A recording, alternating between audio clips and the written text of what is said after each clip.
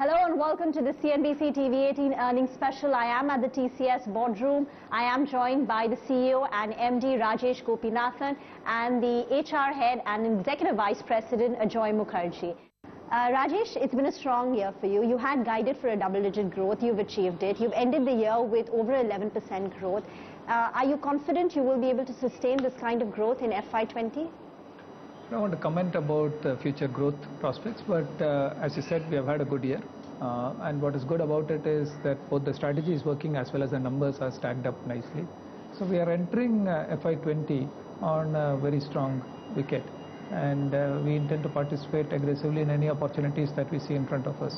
Strong wicket, does that mean that um, you will be able to accelerate from here on? How do you define what strong wicket is? Because you don't have the kind of large deal wins that you enjoyed at the end of FY18. So if you compare uh, the entry into FY19, we had a few large wins, as you rightly pointed out. And uh, we had a very dispersed uh, uh, performance graph with uh, BFSI, North America, retail, all of them being in low single digit kind of uh, growth uh, numbers. Whereas if you look at uh, when we are entering FY20, all these key segments are now closely bunched together, close to the company average. So there is no uh, lag and no headwind or no drag on the um, growth side. So one, while the tailwind is not there, neither is the drag there. So I would think that it's an overall um, positive setup.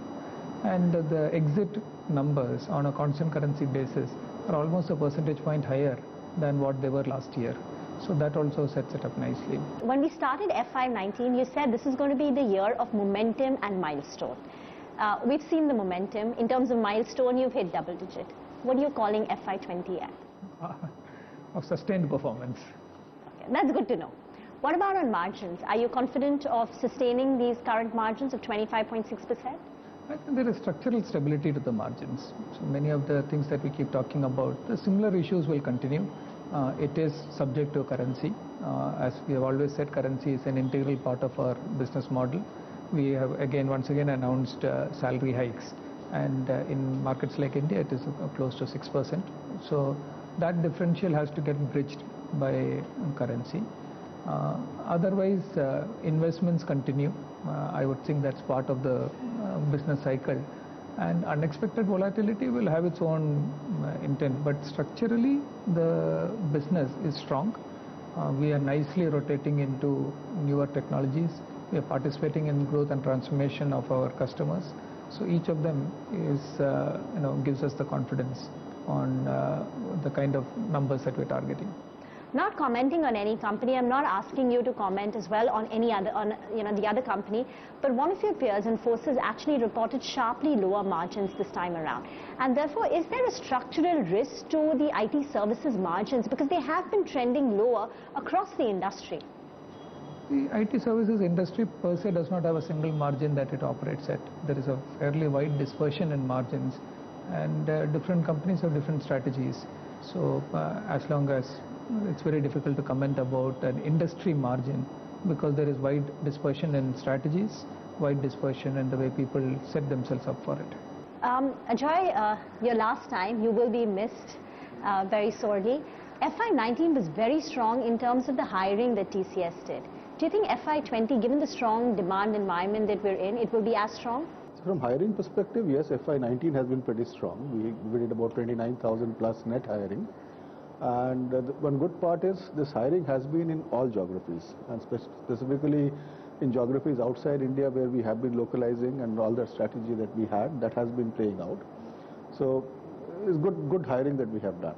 As far as next year is concerned, what I said in the press conference, that holds, that uh, all we announce is that the number of trainee offers that I have given. And that I think we have talked about earlier as well, that we have changed the way we hire our trainees. So they are still the engineering talent from all the colleges, but we have democratized the hiring. We have said that we have gone ahead with the TCS National Qualifier Test. 1800 colleges across India participated into, uh, students from all these colleges, they participated. And after that, we have given out about 30,000 plus offers for trainees to come in and join us in the next financial year. And as you know, as we go into the financial year, based on our requirements, maybe we can do an off-campus hiring, that's what we did last year, and something, something like that. So the overall hiring would of course depend upon the kind of business demand that we have, the kind of requirements that we need, and based on that we'll do the rest of the hiring. So that is all that I can tell you as far as the future is concerned. Any sectors where you see any kind of pressure? There are, I mean, individual uh, sectors have their own uh, issues. Retail is obviously a challenging sector, continues to be. BFSI, as I've said, uh, it's a fairly, it's a very large industry. Uh, the volatility that we're seeing in the markets is like could have an impact on the capital markets uh, part of the BFSI industry. Uh, technology sector is a volatile sector. It uh, moves very fast depending on uh, both demand as well as outlook on demand. So in many ways these are now characteristics of these industries. So there's not much to really call out. Uh, that's where the that's how these industries are, and we are large enough that uh, we have to participate and uh, make our way through it. All things, um, do you think, you know, considering all things, do you think BFSI growth can accelerate for you?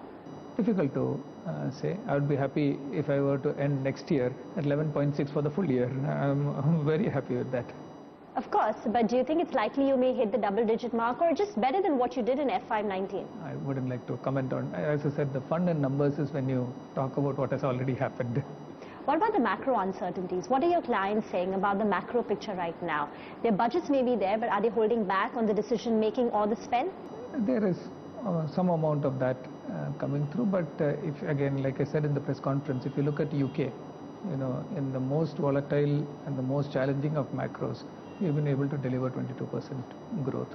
So there are obviously uh, concerns. Everybody say, reads the same newspapers, watches CNBC. So uh, there are concerns, but companies are also going forward and investing and executing, some on a defensive basis, some on an aggressive positive basis. Uh, the, the challenge from a strategy perspective is to participate in each of them. And that is where our uh, Business 4.0 framework is uh, really helping us. It is positioning us as a growth and transformation partner to customers in their own transformation agendas.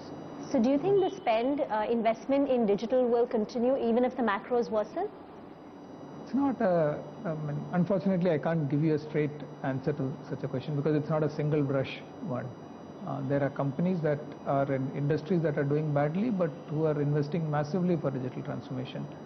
Uh, so it is not a, it's not a one trick uh, solution. Ajoy, have visa rejection rates gone up? Visa rejection rates for, uh, in general, it has gone up. Be it L visas or be it H, H visas, in both the places, the visa rejection rates are up. And that is because the scrutiny is much more. And as a result, what is happening is as long as you are looking at what you are doing and your applications are, you're cons- spending considerable amount of time in writing your applications, then things are fine. And therefore, will it have an impact on the margins? So visa rejection rates means uh, you have to fulfill the business demand. Now that means your talent strategy has to be there in order to meet those demands.